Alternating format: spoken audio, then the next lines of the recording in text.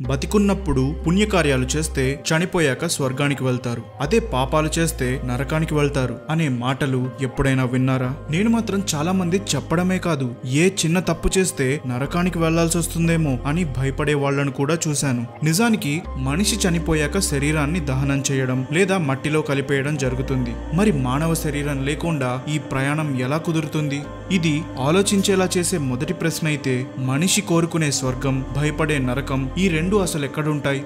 భూమి లోపల? లేక మనకు తెలియని మరో కొత్త డైమెన్షన్ లోనా? అలా చూస్తే దేవుళ్ళు దానవులు అందరూ ఏలియన్స్ అనుకోవాలా? ఇలాంటి ఎన్నో సందేహాలు మనసులో మొదలయ్యాయి. సరిగ్గా శ్రీమద్ భాగవతం చదువుతుంటే అందులో సెకండ్ థర్డ్ అండ్ ఫిఫ్త్ స్కందంలో వీటికి సమాధానాలు దొరికాయి. సో ఆ లోకాలు అందులో నివసించే వాళ్ళు అక్కడికి వెళ్ళడం ఎలా? అనే విషయాలు ఈ వీడియోలో తెలుసుకుందాం. బై ద వే మీరు పెడుతున్న కామెంట్స్ అన్నిటినీ నేను చదువుతున్నాను. వీలైనంత వరకు రిప్లై కూడా ఇస్తున్నాను. అండ్ ఇవే కామెంట్స్ మరింత ఇంట్రెస్టింగ్ కాంటెంట్ క్రియేట్ చేయడానికి హెల్ప్ చేస్తున్నాయి. So like share and comment చేస్తూ మన కాంటెంట్ని అందరికీ స్ప్రెడ్ చేస్తున్న ప్రతి ఒక్కరికి ఆ హ్యూజ్ థ్యాంక్స్ ఇలానే కామెంట్ సెక్షన్ని మీ కామెంట్స్తో నింపేయండి. దానితో పాటు ఒక లైక్ కొట్టడం మాత్రం మర్చిపోకండి. ఇది మన ఛానల్ గ్రోత్కి చాలా హెల్ప్ అవుతుంది. వీడియోలో చెప్పిన టాపిక్స్ అన్ని మీకు క్లియర్గా అర్థం అవ్వాలంటే కామెంట్స్లో పిన్ చేస్తున్న వీడియో లింక్స్ క్లిక్ చేసి అవి కూడా చూడండి. ఈ వీడియో క్రియేట్ చేయడానికి యూజ్ చేసిన బుక్ లింక్స్ డిస్క్రిప్షన్లో ఉంటాయి. ఇంట్రెస్ట్ ఉన్న వాళ్ళు క్లిక్ చేసి చూడండి. ఇక లెట్స్ బిగిన్ నేను మీ లైఫ్ ఓరామా ఇక చెప్పేది వినరవేమా?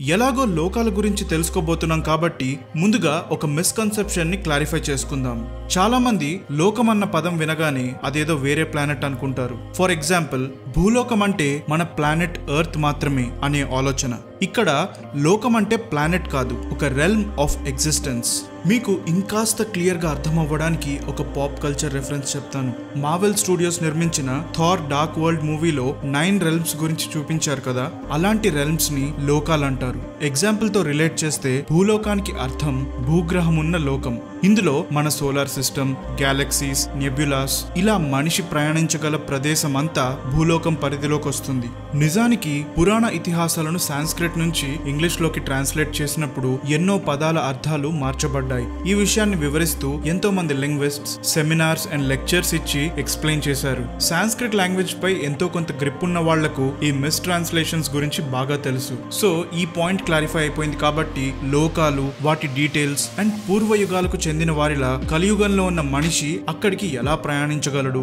అసలు వెళ్ళే ఛాన్స్ ఉందా లేదా? అనే విషయాలు తెలుసుకుందాం. భాగవతంలో చెప్పబడిన డీటెయిల్స్ బట్టి చూస్తే లోకాలు మూడు కేటగిరీస్గా డివైడ్ చేయబడ్డాయి. ఫస్ట్ ఊర్ధ్వ లోకాలు అంటే పై లోకాల సమూహం. కింద నుంచి కౌంట్ చేస్తే భూవర్లోకం స్వర్గలోకం మహర్లోకం జనలోకం తపోలోకం సత్యలోకం. వీటిని ఆరు స్వర్గాలు అంటారు. సత్వగుణం అంటే మోడ్ ఆఫ్ గుడ్నెస్ ఎక్కువగా ఉన్నవారు ఈ లోకాల్లో ఉంటారు. భూవర్లోకం నుంచి మొదలుపెట్టి సత్యలోకం వరకు నివసించే వాళ్ళలో ఉన్న సత్వగుణాన్ని గమనిస్తే ఇంక్రీజింగ్ ఆర్డర్లో ఉంటుంది. సెకండ్ మధ్యలోకాలు అంటే భూర్లోకం. దీన్ని కామన్గా భూలోకం అని కూడా అంటారు. ఇక్కడ ఉండే జీవరాశులకు మిగతా రెండు గుణాల కంటే రజోగుణం ఎక్కువగా ఉంటుంది. అంటే మోడ్ ఆఫ్ డిజైర్ సింపుల్గా మనుషులనే గమనించండి. ప్రతి క్షణం మనసులో ఏదో ఒక కోరిక ఉంటూనే ఉంటుంది. థర్డ్ అధలోకాలు అంటే కింద లోకాల సమూహం. పైనుంచి అడుగు భాగం వరకు వెళ్తే అతలం వితలం సుతలం తలాతలం మహాతలం రసాతలం పాతాళం. వీటిని ఏడు పాతాళాలు అని అంటారు. ఇక్కడ ఉండే వాళ్ళకు తమో గుణం ఎక్కువగా ఉంటుంది. అతలంతో మొదలుపెట్టి పాతాళం వరకు నివసించే వాళ్ళలో ఉన్న తమో గుణాన్ని గమనిస్తే ఇంక్రీజింగ్ ఆర్డర్లో ఉంటుంది. ఈ మూడు కేటగిరీస్ని దృష్టిలో పెట్టుకుని వాటిని లోకత్రయ లేదా త్రైలోక అని సంస్కృతంలో త్రిలోకాలు లేదా ముల్లోకాలు అని తెలుగులో అంటారు. మొత్తంగా ఉన్న ఈ పద్నాలుగు లోకాలను పదునాలుగు భువనాలు లేదా చతుర్దశ భువనాలు అని అంటారు. ఇక ఈ లోకాలు ఎలా ఉంటాయి? అక్కడ ఎవరుంటారు? ఇలాంటి డీటెయిల్స్లోకి వెళ్ళే ముందు అసలు ఈ లోకాలన్నీ ఎలా క్రియేట్ అయ్యాయో తెలుసుకుందాం.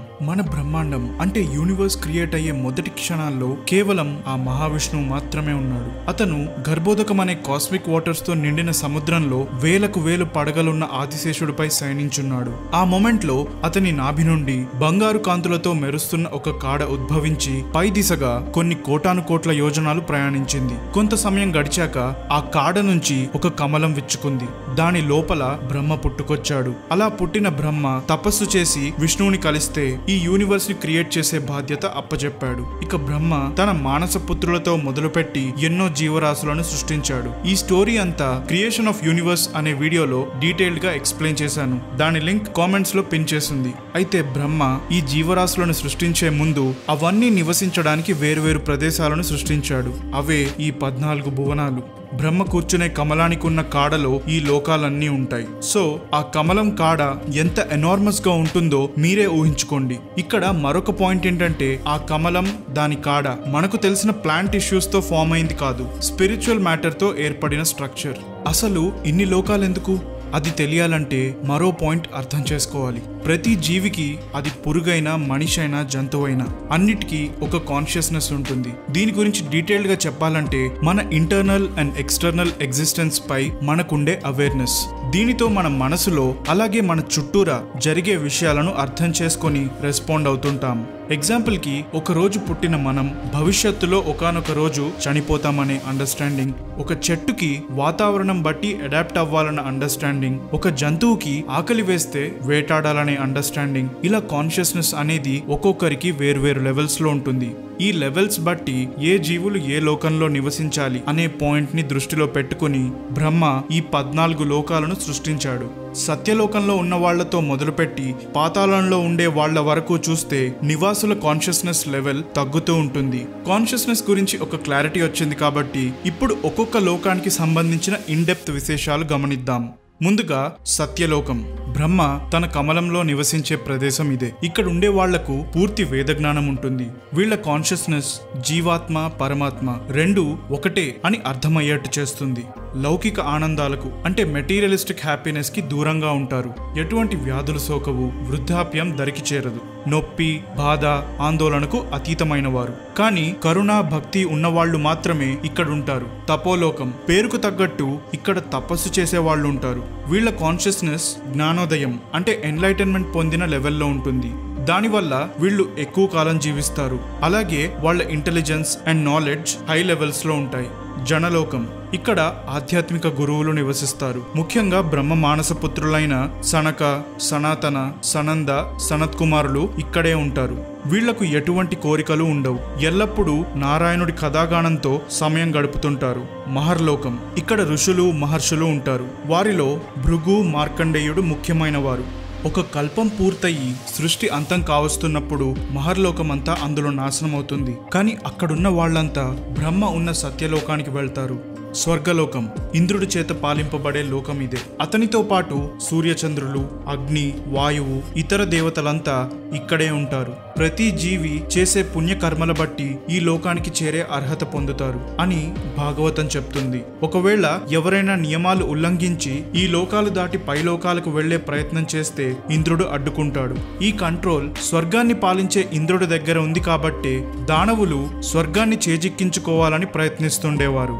భువర్లోకం. ఇక్కడ యక్షులు గంధర్వులు చారుణులు విద్యాధరులు కొందరు అప్సరసులు మునులు వీళ్ళంతా నివాసం ఉంటారు చాలా రోజులుగా గంధర్వులు అంటే ఎవరు? అనే ప్రశ్న కొంతమంది సబ్స్క్రైబర్స్ అడిగారు. అప్సరసలు స్వర్గంలో నాట్యం చేసే నాట్యకారులైతే వాళ్ళకు సంగీతాన్ని అందించే మ్యూజిషియన్స్ని గంధర్వులు చారుణులు అంటారు. భూలోకం.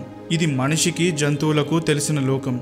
వీడియో మొదట్లో చెప్పినట్టు భూగ్రహం ఉన్న లోకం కాబట్టి భూలోకమని లేదా భూర్లోకం అని అంటారు. స్వర్గలోకం నుంచి భూలోకం వరకు హారిజాంటల్ డైరెక్షన్లో మరికొన్ని లోకాలు ఉంటాయి వీడియో లెంత్ ఎక్కువ అవుతుంది కాబట్టి ఇందులో కేవలం వర్టికల్గా ఉండే లోకాల గురించి మాత్రమే చెప్తున్నాను. ఇక కింద లోకాలు. అతల వితల సుతల తలాతల మహాతల రసాతల పాతాళాలు. ఈ పేర్లు కొన్ని సినిమా డైలాగ్స్లో వినే ఉంటారు. వీటి గురించి తెలుసుకునే ముందు ఒక మిస్కన్సెప్షన్ క్లియర్ చేసుకుందాం. చాలా మంది పాతాల లోకాలంటే భూమి పొరల్లో దాగుండే లోకాలనుకుంటారు. కానీ అది నిజం కాదు. ప్రతి లోకం కంప్లీట్గా వేర్వేరు ప్లేన్స్లో ఉంటాయి. ఇమాజిన్ చేసుకోవడానికి ముందు చెప్పిన థార్ డార్క్ వరల్డ్ మూవీలో చూపించిన నైన్ రెల్మ్స్ గుర్తు చేసుకోండి. ఇక డీటెయిల్స్లోకి వెళ్తే ముందుగా అతలం. ఈ లోకంలో మయుడనే దానవుడి పుత్రుడు బాలా ఉంటాడు. ఇతనికి తొంభై ఆరు రకాల అతీత శక్తులుంటాయి. ఇతని ఆవలింతతో స్వైరిని కామిని పుంచలి అనే మూడు రకాల స్త్రీలు సృష్టింపబడ్డారు. వీళ్ళు మగవాళ్ళను వారి చేష్టలతో మాటలతో బందీలుగా మార్చుకుని వాళ్ళతో సంభోగిస్తారు.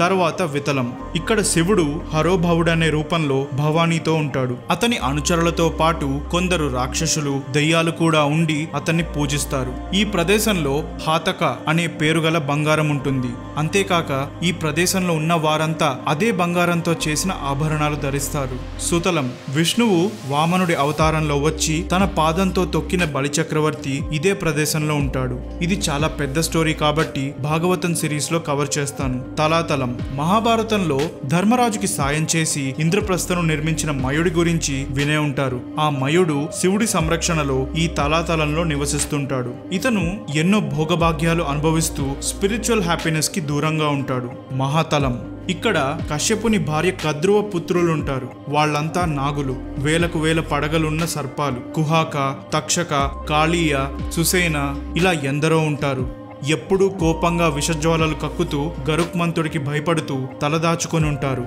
రసాతలం. కశ్యపుని భార్యల్లో ఇద్దరు దితి ధను అనబడే ఇద్దరి పుత్రుల నివాస స్థలం అంటే దైత్యులు నివాత కవచులు కాలకేయులు హిరణ్యపురివాసులు కాలకేయులంటే బాహుబలిలో ఉన్నవాళ్ళు కాదు వీళ్ళు వేరు. మహాభారతంలో అర్జునుడు దివ్యాస్త్రాల కోసం స్వర్గానికి వెళ్ళిన సంఘటనలో వీళ్ళతో యుద్ధం చేస్తాడు. ఇక్కడున్న వాళ్ళంతా బతికున్నప్పుడు ఎంతో క్రూరంగా వారి బలానికి మరొకరు సాటి లేరనే అహంకారంతో ఉండేవారు. కానీ అందరూ విష్ణువుని సుదర్శన చక్రానికి బలయ్యారు. ఆఖరిగా పాతాళం. దీన్ని నాగలోకమని కూడా అంటారు. వాసుకి అనే సర్పం ఈ ప్రదేశానికి అధిపతి. ఇక్కడుండే సర్పాలకు అసురీ లక్షణాలుంటాయి. శంఖ కులిక మహాశంఖ శ్వేత శంఖచుద కంబాల అశ్వతర ఇలాంటి ఎన్నో బుసలు కొట్టే సర్పాలు నివసిస్తాయి. వీళ్ళ పడగల విషయానికొస్తే ఐదు నుంచి వందకు పైగా ఉంటాయి. వాటన్నిటికీ మణులుండటం వల్ల వాటి నుంచి వచ్చే కాంతితో బిలస్వర్గం అనే ప్రదేశం వెలిగిపోతుంది. ఈ లోకాలకు ప్రయాణించిన వాళ్ళ కథల గురించి భాగవతం మహాభారతం ఇతర పురాణాల్లో విన్నాం. అది ఎలా సాధ్యమయ్యింది? మునుపటి యుగాల్లో మనుషులు మునులు ఋషులు ఈ లోకాలను ఎలా చూడగలిగారు? ఆ ప్రదేశాలకు ఎలా వెళ్ళగలిగారు? దానికి సమాధానం ప్రతి మనిషిలో గుణాల చేత ఇన్ఫ్లుయెన్స్ అయిన కాన్షియస్నెస్ వీడియో మొదట్లో మూడు లోకాల్లో ఉండే వాళ్ళ గుణాల గురించి చెప్పాను కదా. అలాగే ప్రతి జీవిలో ఉన్న గుణాలు సత్వ రజో తమో గుణాలు కాన్షియస్నెస్ని ఇన్ఫ్లుయెన్స్ చేస్తాయి. ఇదే కాన్షియస్నెస్ మహర్షులకు ఇతర లోకాలను పర్సీవ్ చేసే శక్తినిస్తుంది ఒకవేళ కాన్షియస్నెస్లో సత్వగుణం హై లెవెల్స్లో ఉంటే వాళ్ళు పై లోకాలను చూడగలరు అక్కడికి ప్రయాణించగలరు. దీనికి ఎగ్జాంపుల్ అర్జునుడు దివ్యాస్త్రాల కోసం స్వర్గానికి వెళ్ళిన సంఘటన బలరాముడి వివాహం బ్యాక్ స్టోరీ ముచ్చికానందుడి కథ ఇలా ఎన్నో ఉన్నాయి. అందుకే మహర్షులు తపస్సు చేసి వాళ్ళ ఆలోచనల నుంచి కోరికలు కలిగించే రజోగుణాన్ని నెగిటివిటీని పుట్టించే తమో గుణాన్ని దూరం చేసుకుంటారు. కొన్నిసార్లు ఇంద్రుడు కూడా ఏ మహర్షి లేదా అసురుడు వాళ్ళ తపస్సు ఫలిస్తే ఏం కోరుకుంటారో అనే భయంతో అప్సరసలను పంపి వాళ్ళ తపస్సు ఫెయిల్ అయ్యేట్టు చేస్తుంటాడు. అదే కాన్షియస్నెస్లో రజోగుణం హై లెవెల్స్లో ఉంటే వారు మధ్యలోకమైన భూలోకంలో ఉండగలరు. ఆఖరిగా కాన్షియస్నెస్లో తమో గుణం హై లెవెల్స్లో ఉంటే వారు కింది లోకాలకు చేరుకుంటారు. ఒక్కసారి హై లెవెల్ ఆఫ్ కాన్షియస్నెస్ ఉంటే వాళ్ళు కింది లోకాలకు కూడా ఈజీగా వెళ్ళగలరు. ఇక చేసిన కర్మలతో మన కాన్షియస్నెస్లో ఏ గుణం ఎక్కువగా ఉంటుందో ఆ లోకానికి వెళ్తారని భాగవతం అండ్ భగవద్గీతలో ఉన్న పాయింట్స్ వివరిస్తాయి. ఇప్పటి రోజుల్లో కూడా బతికున్నప్పుడు పుణ్యకార్యాలు చేస్తే చనిపోయాక స్వర్గానికి వెళ్తారు. అదే పాపాలు చేస్తే నరకానికి వెళ్తారు అని చెప్పడానికి కారణం ఇదే. ఇదే నమ్మండి అని నేను చెప్పను. పురాణ ఇతిహాసాల్లో ఉన్న విషయాలు అర్థం చేసుకుని మీతో షేర్ చేయడం మాత్రమే నేను చేసే పని. ఇక నమ్మకం అనేది మీ పర్సనల్ చాయిస్. ఇవన్నీ పక్కన పెడితే మోడర్న్ సైన్స్తో బతికున్నప్పుడు ఇతర లోకాలకు వెళ్ళగలమా? అనే ప్రశ్నకు సమాధానం ఎస్ సాధ్యమే. ఐన్స్టైన్ థీరీ ప్రకారం మనిషి కాంతి వేగంతో ప్రయాణించగలిగితే ఈ లోకాలకు చేరుకోవచ్చు. సో అది ఇవాల్టి మిస్టరీ ఇన్ని విషయాలు తెలుసుకున్నాం కదా. కానీ ఇవన్నీ చాలా తక్కువ. మనం వర్టికల్గా ఉన్న పద్నాలుగు లోకాల గురించి మాత్రమే తెలుసుకున్నాం. ఇవి కాకుండా ఇరవై ఎనిమిది నరకాలు అక్కడ వేసే శిక్షలు చనిపోయిన మనిషి అనుభవించడం ఎలా సాధ్యపడుతుంది? అలాగే భూలోకం నుంచి స్వర్గలోకం వరకు మధ్యలో హారిజాంటల్ డైరెక్షన్లో ఉన్న లోకాలు బిల స్వర్గాలు ధ్రువలోకం ఇలాంటివెన్నో ఉన్నాయి. అవన్నీ ఈ వీడియో సెకండ్ పార్ట్లో చెప్తాను. కానీ నేను ఆ వీడియో చేయాలంటే మీరు వీలైనన్ని కామెంట్స్తో కామెంట్ సెక్షన్ని నింపేయాలి. అండ్ ఆ లైక్ బటన్ని స్మాష్ చేయండి. సో దీని తర్వాత వచ్చే వీడియోస్ మిస్ అవ్వకూడదంటే ఆ రెడ్ కలర్లో ఉన్న సబ్స్క్రైబ్ బటన్ క్లిక్ చేసి ఆల్ నోటిఫికేషన్ సెలెక్ట్ చేయండి. సో అది ఫ్రెండ్స్ ఇవాళ వీడియో నేడు మీ లైఫ్ ఓరామా తిరిగి కలుస్తూనే ఉందా.